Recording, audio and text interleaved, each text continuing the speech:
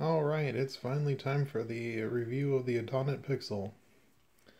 Um, you can see here I got one in the bronze color that um, doesn't focus. Oh, there we go. Uh, this is a color that of the bronze and the black that I liked the most. Um, it's very nice. Uh, I guess while I have the pen close up, I can go over some of the features. Uh, it has two buttons here um, for performing whatever you like them uh, like to map them to. Uh, the options uh, of what you can map depend on the app that you're using, but they do generally uh, have the same features available. Uh, usually, one of these is mapped to undo by default, and then when I can, I like to map the top one to color picker and the bottom one to undo. But with some apps, you, you do get quite a bit of customizability. Others, it's kind of set to a default thing and you just have to take it. The tip is Adonit's uh, pixel point tip. Um, it's it, it, it's supposed to have a little bit of tooth and kind of cling to the glass more than other styluses. Um, I can say it, it slides a little bit less than the other styluses I've used, but not significantly so. If you're expecting something more like uh, a pen on paper feel or something like the feel of a Wacom tablet. Uh, you're not really going to get that with this, unfortunately, but I don't really mind the slidiness of uh, styluses on glass or styli on glass, so never really bothered me. Uh, it's a little bit wiggly.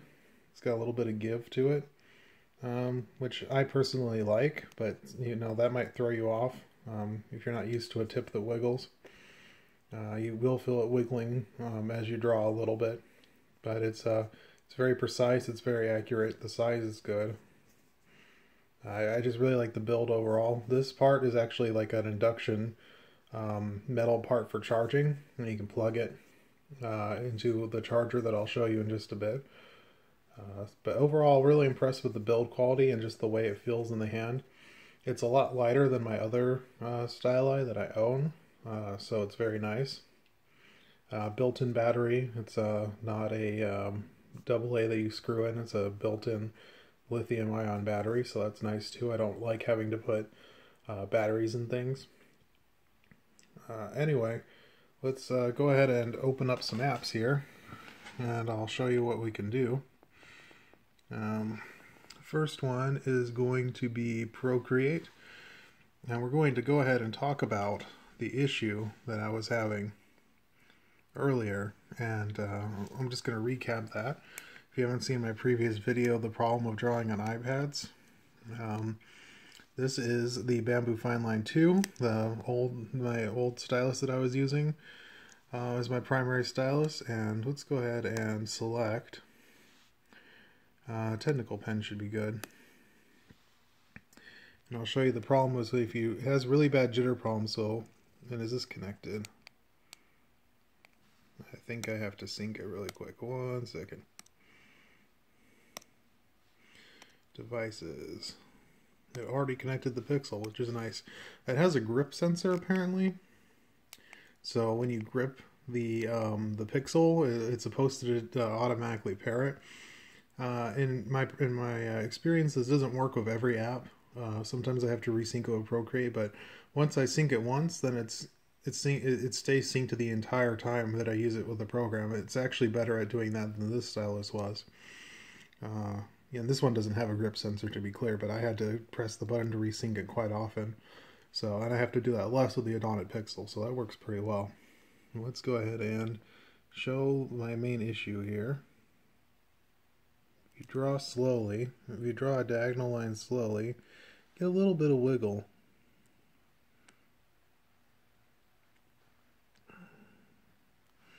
You know, we just do a whole bunch. Like, some of them ended up being okay.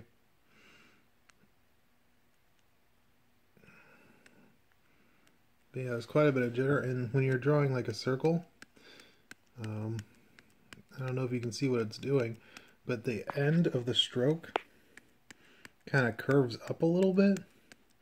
So if you're like trying to round out like a face shape or something, you get all these weird lines like jumping off the end, and that's very annoying. So that was the problem with this particular stylus and Procreate, and that was a big deal because Procreate was my favorite um, drawing app for the iPad, and so not being able to use the the app that I enjoy the most was kind of a big problem. So we're going to go ahead and go here. And uh, again, it, it detected I, excuse me, it detected that I was holding it, and uh, it went ahead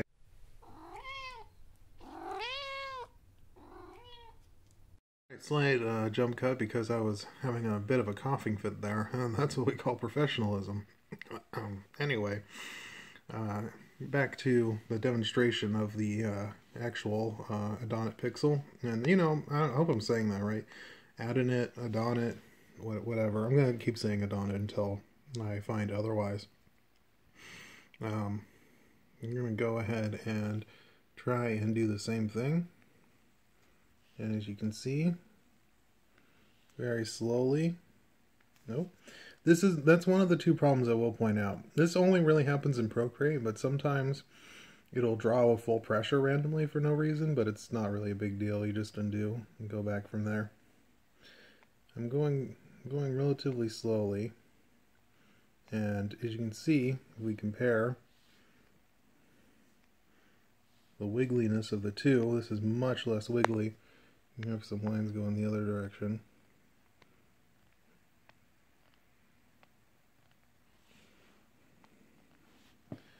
you know, you can move at a little bit more speed. You know, not as much of a problem. I mean, there's a little bit of unevenness, but that's mostly actually me just, my hand just wiggling a little bit. Um, I don't have any of the same jitter problem. See, that was really slow and uh, even though I had an unsteady stroke there, it still stayed pretty straight. And then when I want to do a circle, you can see the lines aren't randomly curving up anymore. So I wanted to keep working on that circle. It would, it would stay, you know.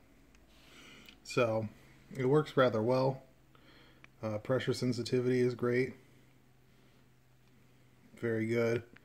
Very good at registering fast strokes. So if you like to do hatching and that kind of thing, it's definitely capable of doing hatching.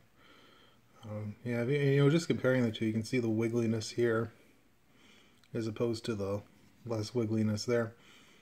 Um, I think uh, I'll bring up a couple of my criticisms um, that I have of the device, and they're pretty minor. One is that one bug you saw where randomly it will draw a uh, heavier stroke. Uh, but again, you know, you just press undo and it does that very uh, rarely, so it's not that huge of a deal. It's not what I would call a deal breaker. The other is there's quite a bit of initial activation force that you have to press in order to get it to actually start drawing.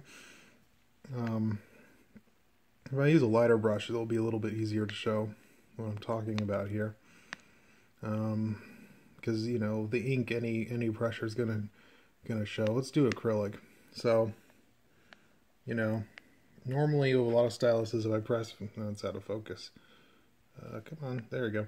If I press very lightly, this would register something. This is not doing crap. I have to press down relatively hard to get it to start drawing. Let me do a bigger stroke here. So, to to even get this very light light thing that's going on, I'd say I press about half as hard already as it would on any other any of the other styli that I've used. So, and to really get it dark, you have to really press down hard. And again, it's not really going to damage your iPad or anything. Um, you know, it's just uh, I'm used to less activation force needed to start drawing, and uh, I've definitely noticed that being a little bit of an issue. But overall, in that, I'm really impressed with the drawing performance. Uh, next, I'm going to check out some other apps, but uh, first, I'm going to do a little jump cut because my phone is running out of memory.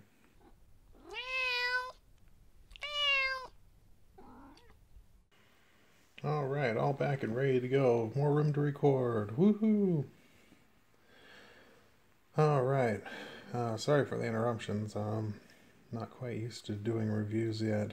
Uh, I'll try and plan this out a little bit more next time. Um, but let's go and test out some other apps really quick just to show the performance. I would say, uh, look at that's from the last time I was actually testing out this app. I don't use uh, Sketchbook hardly ever. Uh, not because it's a bad app, it's actually pretty good. But, nope, no.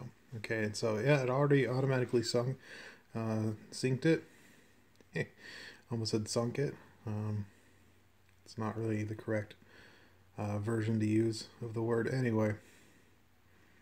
Um, let's see, light to thin to thick, very good.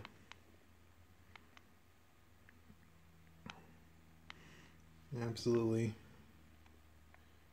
uh, no jitter, jitter problems here either. Well, those are some bad strokes, but that was entirely my fault. You'll have to take my word on that. Yeah, there you see, very, very straight lines. No problems drawing circles or any any any issues whatsoever. Um, very good.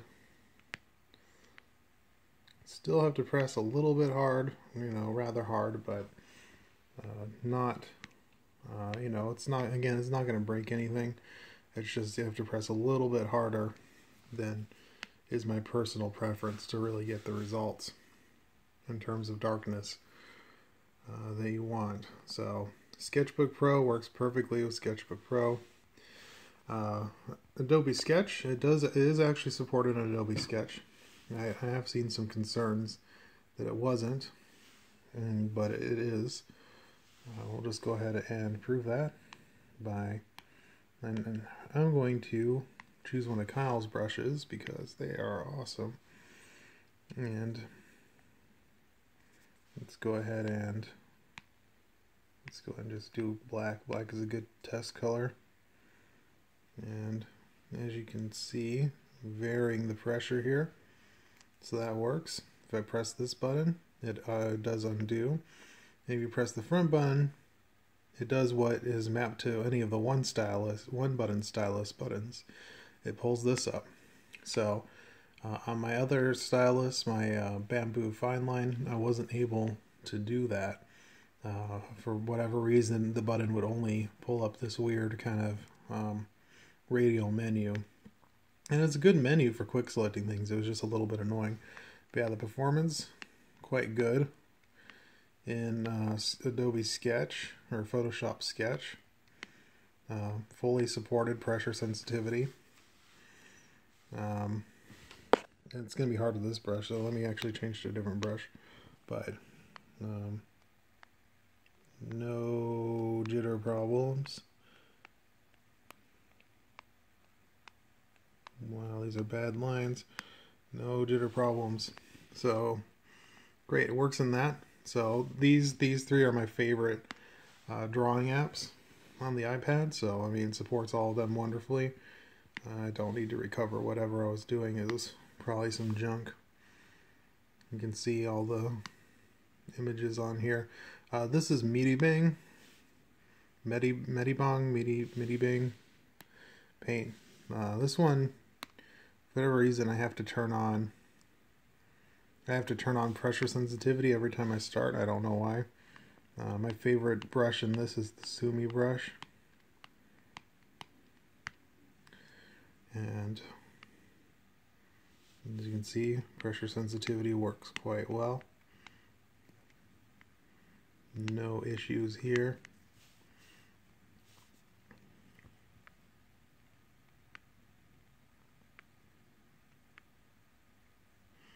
I'm drawing different thicknesses of lines, but as you can see, going very slowly. No jitter problems in this either. You know, a little bit of jitter there. I think that was more my my movements rather than the stylus, though. Again, even if you go from if you go from super slow to like moderately, you know, less slow, it will completely correct any of those jitter problems if you run into them. Um, you know, it has about as much jitter as say like a, a surface pen, maybe even less. So it works very, very well in terms of uh, line stabilization and um, yeah, just response. It's great.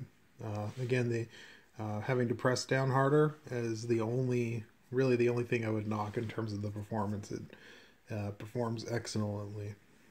So uh, I'm just gonna go ahead and show you the really cool way that you charge it, and then I will wrap up. All right, time for some closing thoughts on the Adonit Pixel. So first, actually, uh, before we get starting to that, in these somewhat abysmal lighting conditions, I want to show you the little dongle here and bring it into focus. There we go.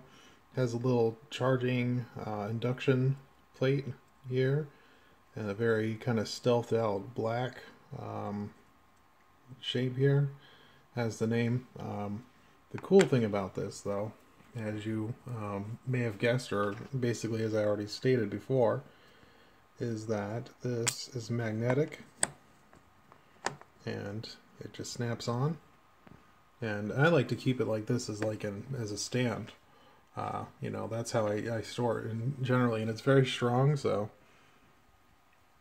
you know you can wiggle it around. It's not coming off of there. So basically if you want to charge it all you do is you plug this bad boy into your computer and plug in the stylus. And there we got a little indicator light that shows hey I'm charging. Awesome just pull it off again when you're done um, I guess I'll show the light uh, it does that when you're pairing it goes through like a three stage thing I think the manual says that it'll it'll flash but it doesn't actually blink rapidly it more it more does like the do do do uh, I think they fixed the manual. I saw uh, from someone that they had actually misstated that in the manual earlier, though. So I guess I wanted to clarify that in case you got a version with an older manual. Um, yeah, anyway. And it's got the light on both sides, which is interesting. And yeah, it just sits there. Kind of like a weird, you know, whatever extension of your computer.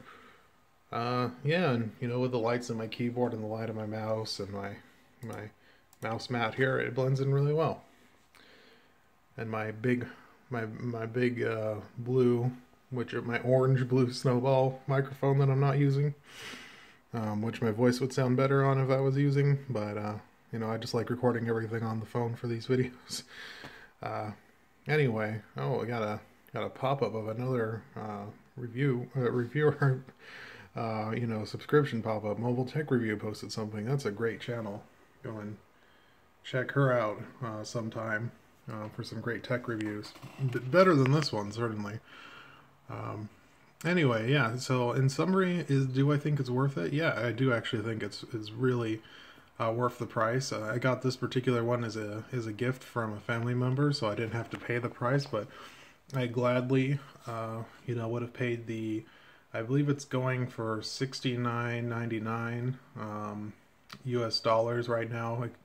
Uh, that could be the sale price. It might be back up to seventy nine ninety nine, but it's definitely worth that much just to get a stylus that works properly with all of the apps that I use. Uh, performs a lot better than the Bamboo Fineline 2 in my opinion.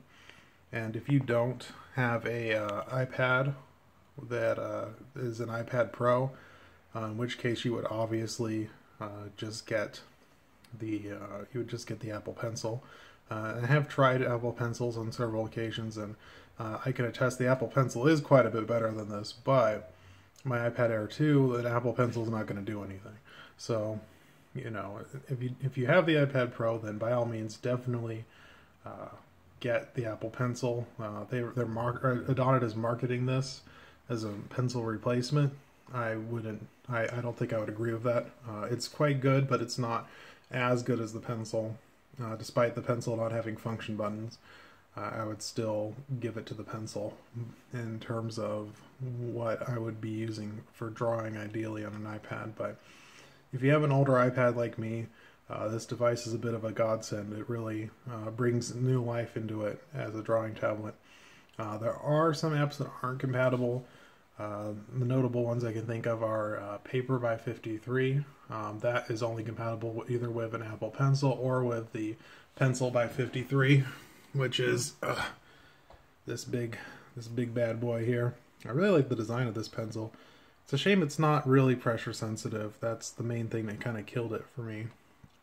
And uh, some of the function actually kind of broke for me near the end of um, me using it. So, you know, kind of disappointing in that case. But the tip still works. I, I might do a video on the Pet, uh, 53 pencil, pencil by 53 later. It's uh, it's it's quite a it's quite a nice little stylus, but um, if you're not looking for pressure sensitivity or at least real pressure sensitivity, and you just want something that's kind of like a a, a dumb stylus, um, this is a great stylus for that. But if you want to be doing like pressure sensitive drawing and have all your buttons and stuff, this is definitely the one to get. The uh, Pixel. Uh, yeah, so not compatible with uh, paper by 53, not compatible with uh, bamboo paper. Uh, as far as I know, only Wacom uh, pens are compatible with that. I think maybe the Apple Pencil, but I'm not sure. Um, so, yeah, if you really like bamboo paper, then maybe you want to go get one of the bamboos. I know that they just released a new one, but I haven't seen any drawing apps listed as being compatible with the new Bamboo Fine Line, so I'm a little dubious um, as to that. I think that's more for handwriting, but I, I could be wrong. Um, but yeah, all the other main drawing apps I've tried work, um, so I, I really like it. And uh, yeah, if there's any follow-ups, I'll keep you posted.